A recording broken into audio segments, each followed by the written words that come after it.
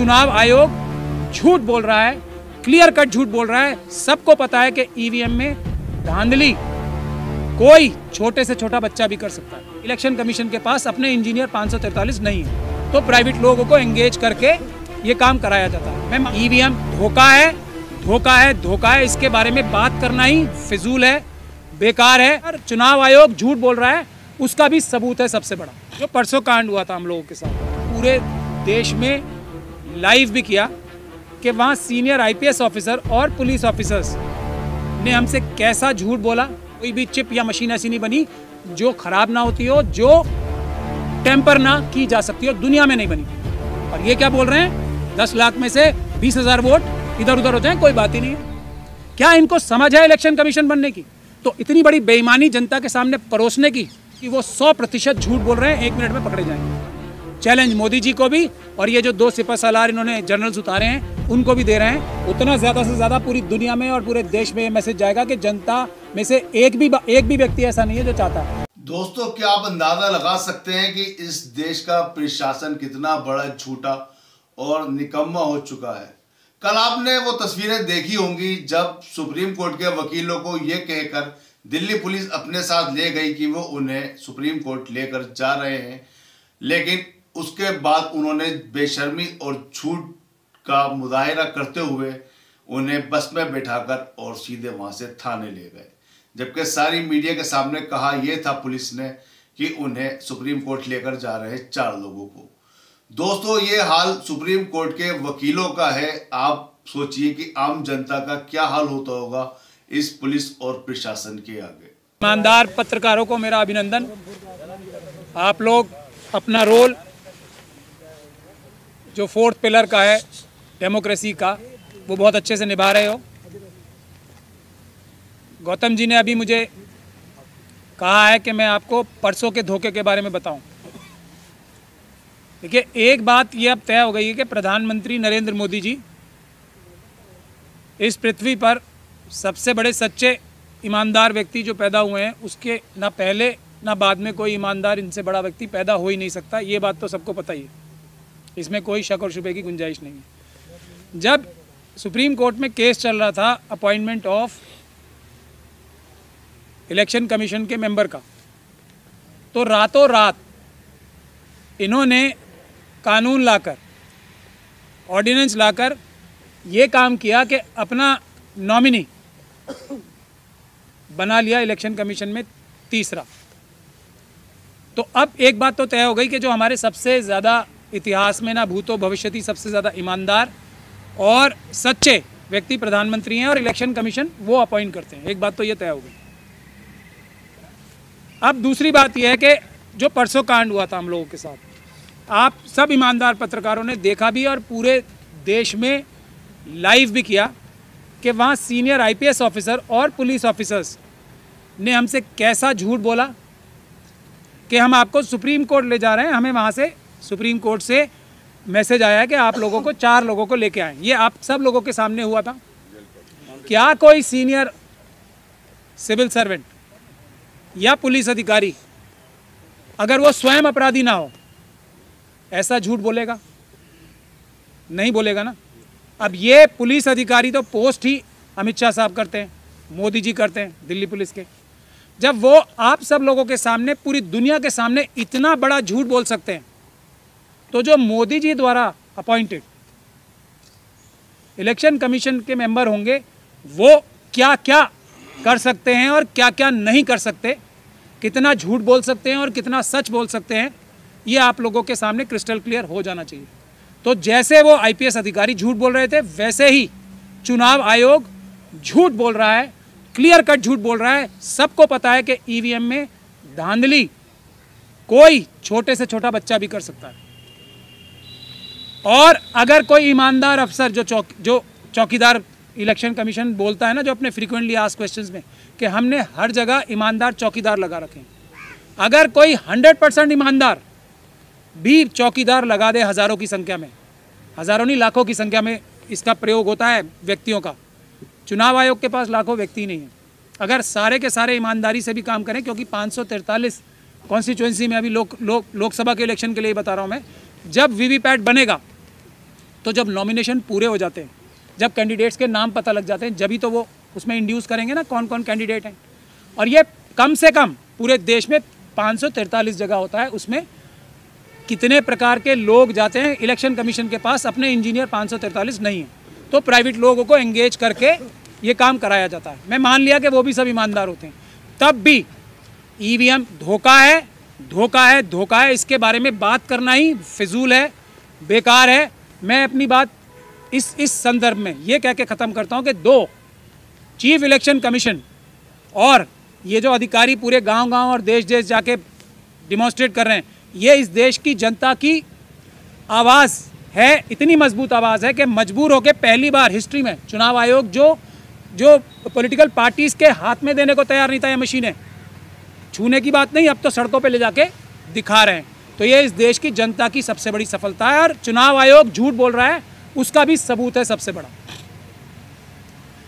इसके आगे जो ये दो चीफ इलेक्शन कमीशन उतारे गए हैं, वो आप सभी लोगों से मैं गुजारिश करूँगा आपके दर्शकों से, जाके वो देखें वो। तो उनका क्या लाइन नज़र आती है इन दोनों इलेक्शन कमीशन की, कि जो ये सैंपल सर्वे हो रहा है, जो सैंपल दो परसेंट ये वीवीपैट में से उठाते हैं। उसको ये मापदंड मान के ईमानदारी से चुनाव हो रहा है, ये कहना चाहते हैं। ये दोनों के दोनों, एक कुरैशी साहब हैं और एक रावत साहब हैं। आप उनके इंटरव्यू देख सकते हैं।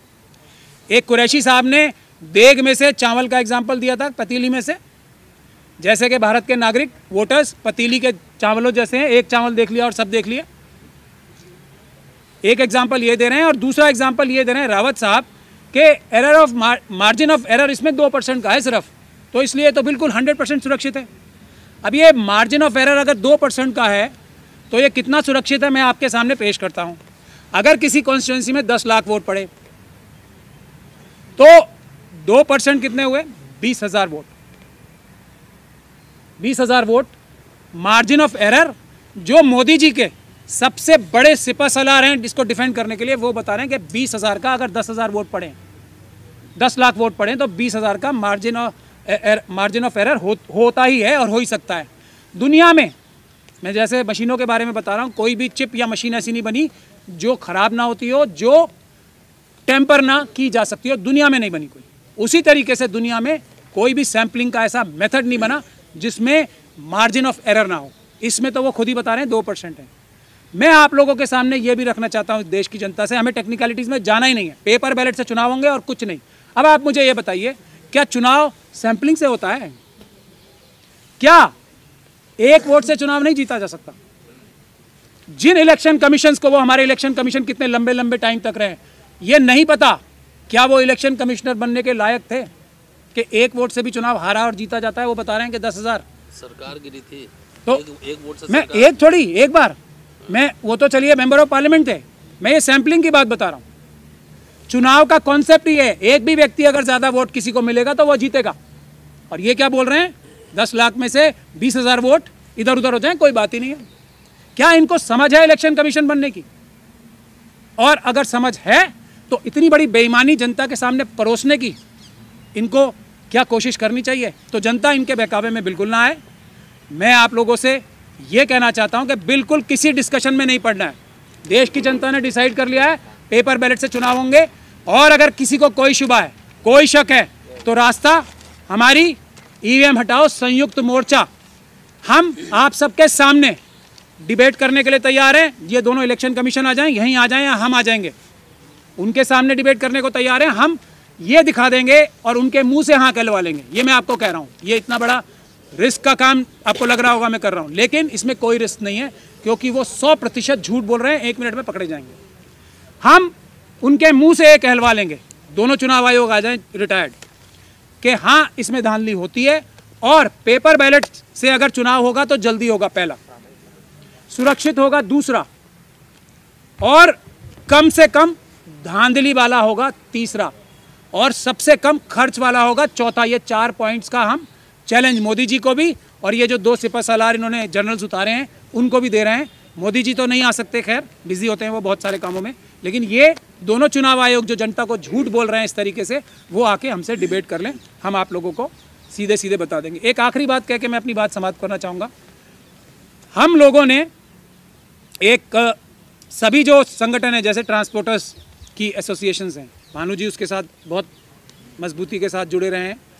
दूसरा जो हॉकर्स एसोसिएशंस हैं, जो दूसरे ट्रांसपोर्टर्स दूसरे एसोसिएशंस हैं, जो आरडब्ल्यूएस हैं, और जो दूसरे संगठन हैं इस तरह के पॉलिटिकल पार्टीज़ भी और दूसरे भी। एक तो हम पॉलिटिकल पार्टीज़ को जाके ये कोशिश करेंगे बहुत जल्दी कि हम उनको भी प्रेजेंटेशन दें इस बारे में कि पेपर बैलेट के अलावा क्योंकि कई पॉलिटिकल पार्टीज़ और लॉयर्स भी अभी भी वीवीपैट के झांसे में आ रहे हैं। तो उनको इस दूर इससे वीवीपैट के झांसे से दूर करना है। और दूसरा एक हम लोग एक बैनर इशू कर रहे हैं। अगर आप हाँ, नहीं आप करो करो। जो हम चाहेंगे कि ये सभी लोग आपको डीसी कपिल साहब ने सबको ये आपके व्हाट्सएप पे भी भेज दिया है। मोबाइल पे भेज दिया ये अपने घरों में अपनी दुकानों में अपने गाड़ियों पर। ऑडियो पर गाड़ियों पर। अपने व्हाट्सएप व्हाट्सएप मैसेज पे अपना इसको डिस्प्ले लगाएँ। व्हाट्सएप पे डिस्प्ले। लगाएँ। हर जगह जिस भी सोशल मीडिया पे वो इसको डिस्प्ले लगाएँ। ये भी हम गुजारिश कर रहे हैं। क्या लिखा है इस पे? पढ़ के बताइए। ईवीएम हटाओ देश बचाओ। और उसके बाद पिक्चर्स हैं उसके नीचे ईवीएम हटाओ संयुक्त मोर्चा। सबने देख लिया सबको क्लियर हो गया?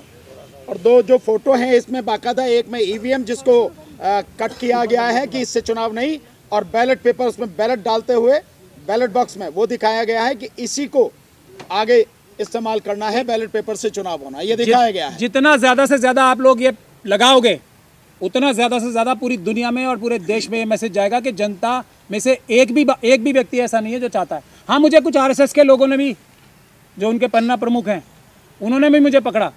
वो कह रहे हैं, भैया, ये बताओ, ये मोदी जी क्या हम पे भरोसा नहीं करते? ये हमसे पूछ रहे हैं वो, जो ईवीएम से जीतना चाहते हैं चुनाव। हम पे इतना इतना भरोसा कम है इन्हें क्या, बीजेपी के कार्यकर्ताओं पे?